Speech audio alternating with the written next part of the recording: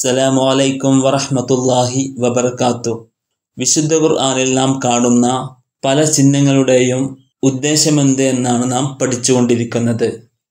സാമാന്യ ദീർഘം അഥവാ രണ്ടക്ഷരം ഉച്ചരിക്കാനെടുക്കുന്ന സമയം നീട്ടേണ്ട സന്ദർഭങ്ങളിലാണ് ഈ ചിഹ്നം ഇടാറുള്ളത്. സാമാന്യ ദീർഘത്തെ കുറിക്കുന്ന ചിഹ്നം ഒരു ചെറിയ ചെരിഞ്ഞ ഒരു അലിഫിന്റെ ഒരു ചെറിയ രൂപം.